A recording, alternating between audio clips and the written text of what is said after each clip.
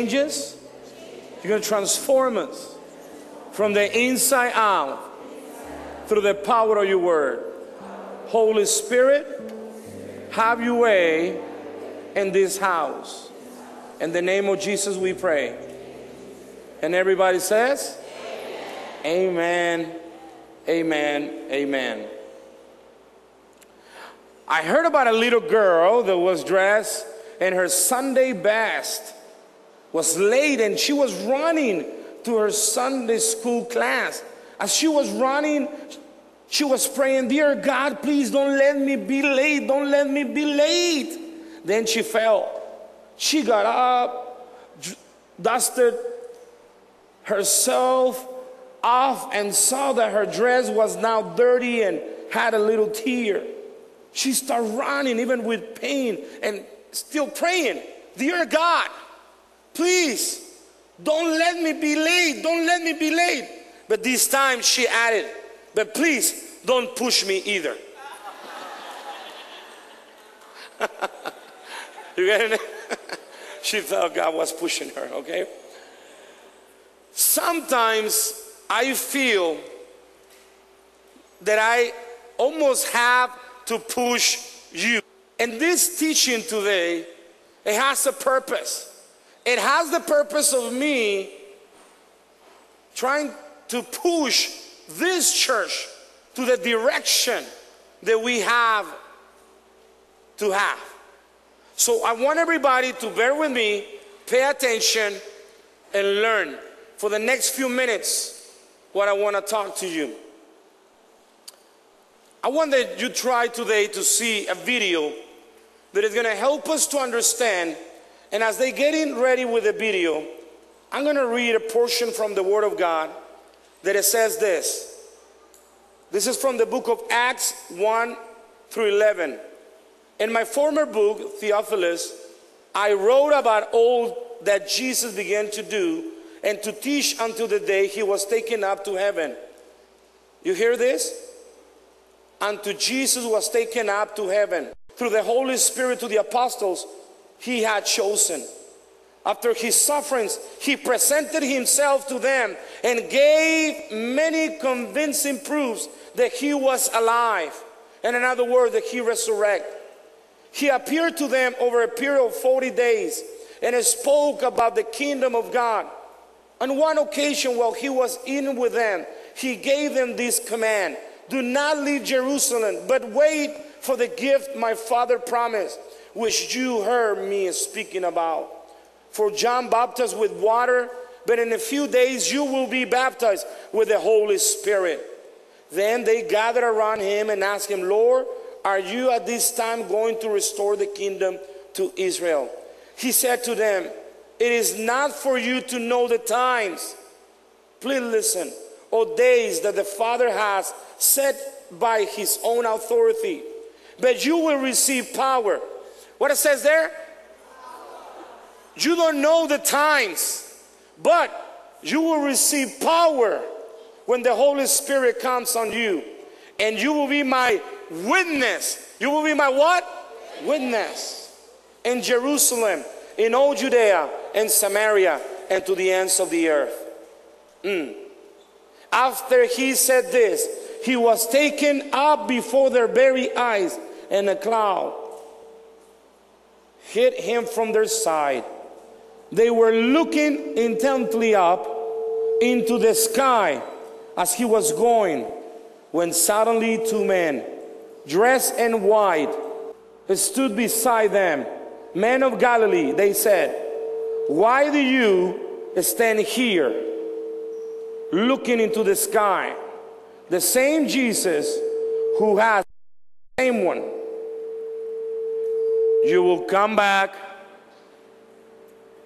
Can you please go on? I don't know where he is. Maybe he's helping, I don't know. Thank you. The same Jesus who has been taken from you into heaven will come back in the same way you see him go into, again, him going to heaven. What an amazing, amazing, amazing video. For me, I cannot find a video closer than that that describe how powerful would it be that day for the people. Can you imagine how powerful it was for the disciples to see their Lord literally disappear in front of their eyes? But you know what? As he was living, he gave us indications, not only for them, but for all of us. I want to talk to you about what he said. Because we're going back today to our series and our teachings that we've been having about He came, He died, He resurrected, He walked among us, and then He went to heaven. But before He ascended to heaven, there was an important, very important teaching for all of us. And it's something that I want to communicate today. Before Jesus left, he talked to us about at least three very important things. Three things that I think church has missed. Somehow church has become busy with programs. Somehow church has become busy with so many activities. And it's so good. They exist to bless the people in church.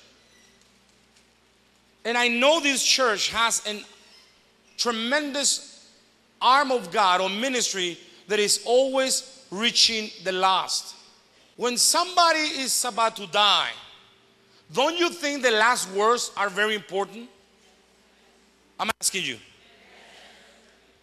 Yes, if somebody is dying, the last words that he wants to communicate, I promise to you that those are the most important words. It's almost like I'm trying to say everything in conclusion is this everything for what I came.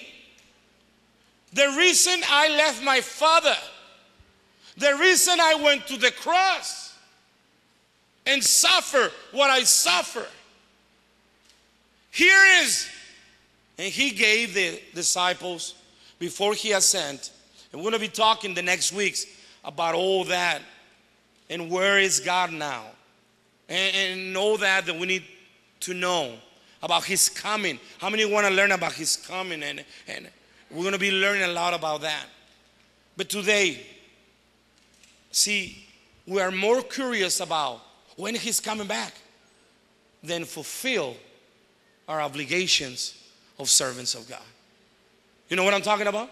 It's even more excited when he's coming back and, and, and talk to me where is he right now. It's so good. But let's talk about what he said that we're supposed to be doing right now. Have you ever asked why Jesus left? I ask myself a lot of questions all the time. And I asked this question why did he have to leave? Why he couldn't stay and live forever among us? Why? There was a plan. But I'm going to throw you some light into this. Also about the words that he said. The first thing he said, and, and, and we just read over there, you know that the promise was the baptism of the Holy Spirit. My friends, this is something that we as Christians, we have to have the desire off. So many people love God and they want the blessings from God, but they don't seek the power of the Holy Spirit because that requires consecration. So we want the blessings from God, we want the love from God, but we don't want to walk in the power because it requires, it's free, but it requires what? Some dedication from us to walk in the power of the Holy Spirit. Now, here's what I want to say. How many of you want to stand in Christ the rest of your life? Three people. How many of you want to stand in Christ? In other words, you want to be firm in Christ even in the difficult times as the times approach. The Bible says that without the power of the Holy Spirit, listen to me, young people, without the power of the Holy Spirit, you're not going to make it. That's why we have to search to be fulfilled in His presence. That's why we come to church. That's why we read the Word of God. That's why we hear teachings like this one. We cry out and pray, God, Fill me out with the power of the Holy Spirit. Because some of us, we realize that without that power, you can have all the knowledge, you can have all the good intentions, but without the power of the Holy Spirit, sooner or later, we're going to fall. How many know what I'm talking about? We standing by the grace of God, but the test is too great. And we have to walk in the Spirit. And that is only going to happen by you and me crying out to be fulfilled by the power of the Holy Spirit. Are you getting it? You need to receive the fulfillment. And look at me. We have heard that so many times that it's almost like, yeah, yeah, whatever, whatever. How many of you made mistakes this week? You know why you made the mistakes? I'm going to tell you right now. Because you get colder. You're not in the presence of God enough. And you're allowing your flesh to control you. Are you with me? When you are in the presence of God, you think according to the Spirit. Are you with me? If somebody even reprehend you, you're in the Spirit, you say, Thank you for taking the time to tell me that. Because you walk in what? In the Spirit. But when somebody reprehend you and you're in the flesh, what happened with the flesh? Am I right? You don't have to go to university to know where you're walking. You're walking in the flesh, you're walking in the spirit. And if you're not overcoming here, trust me, you will not overcome out there. So understand what I'm doing. Okay? Understand. Well, you have to be a witness for Christ. It took me about five minutes. We will talk about it. You have to be a witness for Christ. He says, take the power so you can become a witness. We need to talk about this. Jesus was saying, I want that you be my witness. What is that? Well, in other words, I'm going to read to you the simple meaning of being a witness is to testify, giving evidence. Is someone present at a transaction to testify to it having taken place, having personal knowledge of something or someone? It's a public affirmation. Nowadays, when somebody say, Oh, I'm out, I'm out, I'm out, I'm out, I'm out. Yes or no? Well, it's going to take one day on my job. It's going to be a difficult. No, no, I don't want to be. And even when the city call us, for those that we, you know, we are from this country, we born in this country, we are citizens of this country, you have to go once in a while. The city calls you to be what? To practice and be part of a what? A jury. And they give you the evidence of the case. Am I right? That everybody likes to go to those things? Nobody. You like to go to those things? You like to miss your job and then. But we don't like to go. Here's one situation one day. I'm driving. The street is flashing, flashing in Bushwick. And then suddenly, I see a guy in a motorcycle, zoom, going very fast in a moment of an instant, another guy was not paying attention, made the turn, and right in front of my eyes, a huge accident happened. By the grace of God, the grace of God, the guy walked and lived. The motorcycle was destroyed. Even his helmet was destroyed. I was amazed that he walked out of the accident. Are you with me? I witness, I witnessed in front of my eyes what happened right away. I saw it with my own eyes. I walk out of the car. I try to get involved to help the gentleman. The guy, listen, the guy of the, the truck, the van, as I was helping the man of the motorcycle, guess what he did? he ran away. From far away, I started taking pictures of what? The license. He left. Poor guy on the motorcycle. We give him my phone number. We tried to help him. We tried to get involved. And I said, we can help you, blah, blah. The ambulance came, etc., etc. Anybody could tell me anything.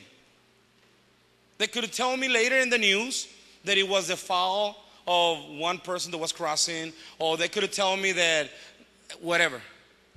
I was there. I witnessed, listen to me. I witnessed what was going on. Listen to me. These disciples that walked with Jesus, they saw everything. And Jesus said, Now you have to become a witness. I'm about to finish. Today, my teaching is very short. You have to get this. Why Jesus said that we have to be a witness? Because there's going to be so many confusion out there. And you say, Well, I was not there. I was not there to tell none of us. So, how can I be a witness of what Jesus came to do and now where he is? How? How many of you can say today, I know that I know that the living God lives in my heart? I'm asking you. Yes or no? Can they convince you different? Josh, can you run to the stage? I'm sorry, but you're one of the mature ones. Run to the stage. Give a hand clap to Josh. He's one of the young pastors to this place. Josh, I'm not going to give you a microphone. But can I convince you that Christ is not a lie? No way. But you know what? I can come and try, you know, to seduce you with. He lives in me. You see? You see? But, but in other words, I can say whatever I want, but what is going on in the inside of him, nobody can take it away. Say something about that. No way. When he lives and he's alive and he's real in you, there's no way that anybody, no matter what they say, no matter what they try to do, what they offer you, it's real to you and nobody can take that away. Come on, give a hand clap to God. Give a hand clap to Josh. Nobody can take it away. So I have a question for you. Can Josh testify that the living God is really his heart? Yes or no? See, don't get confused. You don't have to testify. Oh, I see him going up. Oh, I see him. One time I was sleeping and then I saw him. That's not what you need to testify. Because people are going to say, You ate too much pizza that night. What, what the Bible says that we have to testify, that we have to become a witness through the power of the Holy Spirit. That man is in the power of the Holy How many know that Josh is walking in the power of the Holy Spirit? So he's going to testify no matter what. Can you convince Pastor Tony that God is not real? Can you convince me? Try if you can. No, you can't. You know why? Because He not only lives in me, but I have witnessed His power and life. I have seen Him healing the sick. Oh, anybody's getting how? What I'm trying to communicate? Can you convince me He's not real? You're gonna waste your day because I know He's real in me. I have seen do miracles in front of me. And not only that, not only that, I have seen the power of the sacrifice of Christ changing the most sinner man that would think has no forgiveness and be on their knees saying, God, thank you. I was not there when he died. I could not imagine. Only the word of God describes to me. But you know what? Look at me. But I was present when my son was dying. And because of the power of the blood of Jesus, I saw him literally come from dead to life. You better give a hand clap to God, my friends. Nobody, nobody can tell me he's not real. To be my witness. You're gonna have to communicate. You're gonna have to tell the people.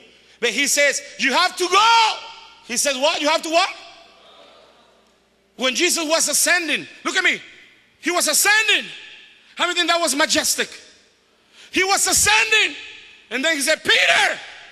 And then Peter says, What, Lord? I can see your house from here, Peter. No, I'm just kidding. I'm just kidding. But when he was ascending, he said, Peter, go. John, go. Go. Go and tell them.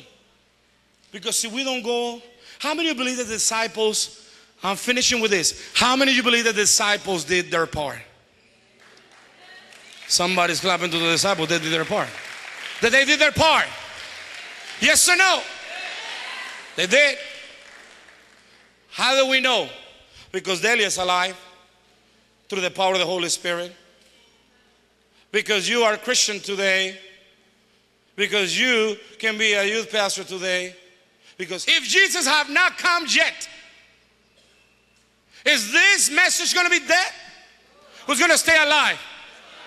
I'm asking you. 20 years from today, today life is going crazy. What is wrong now appears that is right in society. So is the message of Christ going to be dead 20 years from today? Yes or no? Yes or no? What's going to make the difference? What's going to make the difference? The difference was in the last words of Jesus. He said, By the power of my Holy Spirit, you need to be a witness. Keep telling the people, keep telling the people, keep telling the people about your experience. Nobody can take away your experience. They can take away your knowledge, they can take away your health, they can take anything, but nobody can take away what Jesus did for my heart one day when I was lost. Can be taken away, can be done. I will die with that in my heart. Can be done. I want that you finish today. Oh, there you are. He like the Holy Spirit. He was fixing everything today. You know, thank you so much. It was crazy today. Thank you. Oh.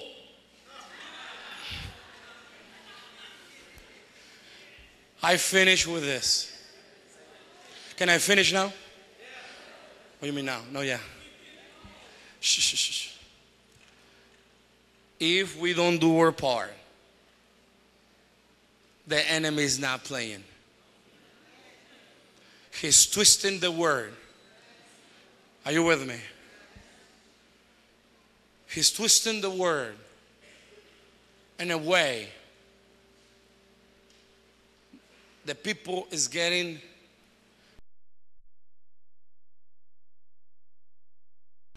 Christianity are not, and they becoming strong everywhere. Are you with me? By the way, I need to make a statement. If you hear somebody that look like us and they say, "You pare de sufrir," okay? Our Brazilian brothers. How many know what I'm talking about? Have you ever seen them? Anyway, just to let you know, it's not from God. It's a cult. Amen? Not everything that looks like us is us. Amen? That's why you have to get into the Word of God. Amen? You have to get into the Word of God so you can receive the power constantly of the Holy Spirit. You need to be baptized with the power of the Holy Spirit. Be open, be ready. In the next few weeks, we're going to be giving you and providing you time to receive this blessing. Amen? You have to desire, but you also have to do a serious decision by the power of the Holy Spirit to change from the inside out. Amen? Because He will follow you. He's going to follow you the power wherever you go. Are you ready to get out and witness about Jesus? Yes or no? Tell them. That anybody here has a story about how Jesus helped you? How Jesus is real? Anybody? Anybody? Let me, let me put it another words. That anybody here can tell Jesus is real because he has do something in your life. Yes? Are you sure? Are you going to tell the people? You're not going to tell the people? And then it's going to die. You're going to tell the people? You got to tell the people. So see, she loves God, but she don't want to tell. She needs the fulfillment of what? Of the Holy Spirit. That will remove any intimidation. If you remember when Paul was fulfilled, I'm sorry, with Peter, he was intimidated in one room, saying, I cannot get out. But then he received the power of the Holy Spirit. And he walked out of that. They were saying they're drunk. And he come out and say, Hey! So you can wake up the people in the back. He said, Hey! We're not drunk. This is a manifestation of the power of the Holy Spirit. And by the way, is the power that was sent and promised by Jesus, the one you kill and crucify.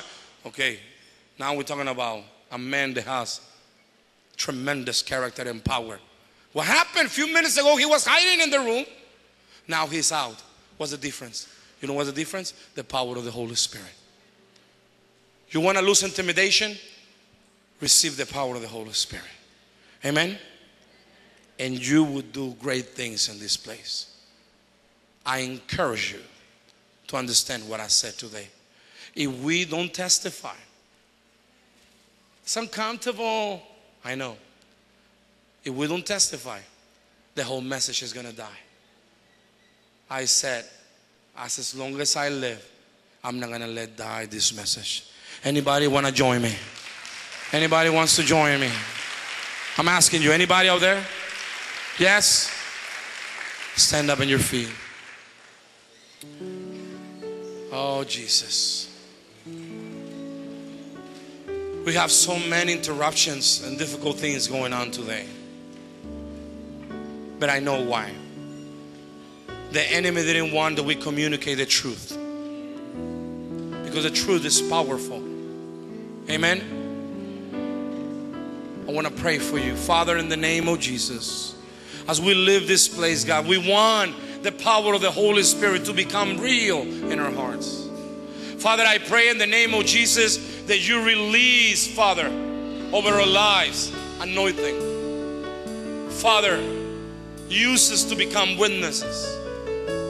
To witness, God, what you have done in our hearts. God, nobody can take that away, that experience. So, Father, I pray. Father, I pray that you make it more real and real every day in our lives. We love you, Jesus. Lift up your hands say, Jesus, we love you. We love you.